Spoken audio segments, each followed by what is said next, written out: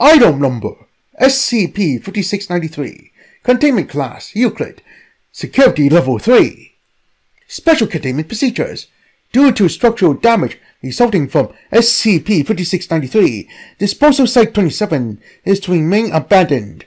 As such, a second professional site has been constructed a safe distance away to observe the colony. Research into the formal purpose of Disposal Site 27 is currently considered a top priority. As to prevent unnecessary expansion of the colony, personnel assigned to SCP-5693 are to have little to no viewpoints on religion or religious matters. Description SCP-5693 refers to a colony of termites of indeterminate size, currently occupying the bottom level of Disposal Site 27 an abandoned professional site located in a remote area of the Northern Territory of Australia.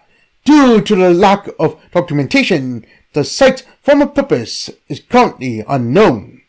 SCP-5693 matches no known species of termite, though its nest superficially resembles that of cathedral termites, with large amounts of the colony extending upwards through the ceiling tiles and ventilation shafts. These mounts superficially resemble bell towers and are engraved with unknown symbols believed to be of theological significance. These symbols emit a blue glow whenever SCP-5693 undergo a consumption event.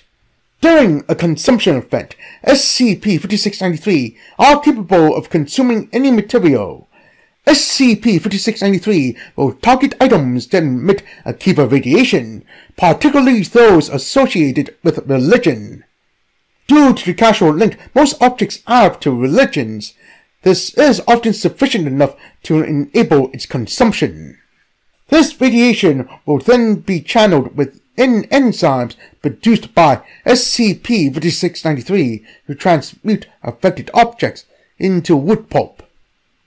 This material is mostly consumed by SCP-5693, although an estimated 15% of it is used to further expand the colony. SCP-5693 transmute an estimated 450 kilograms of material each day, with current predictions showing SCP-5693 will completely consume the site by 2038. It is currently unknown how SCP-5693 achieved its current size, as Disposal Site-27 was found abandoned upon discovery. However, various surviving artifacts were discovered through subsonic imaging, either partially or completely untouched by SCP-5693 within the site's ruins, forming pockets of untouched earth around them. These objects include hazardous waste bags present in excess and emptied of contents, various scientific equipment and machinery, a majority of which was severely damaged, although were identified as commonly used in the care of Thaumiel-class anomalies. Several mason jars filled with an unknown substance.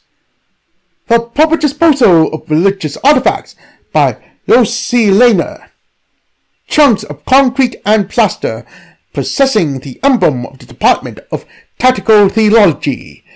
The department claims to have no knowledge of the anomaly and has refused further comment.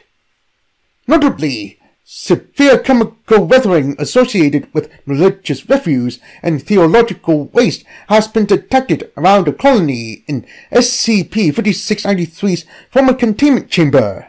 According to recovered blueprints, although this appears to have stopped following its expansion into the rest of the facility. Further research into the significance of these objects is currently pending.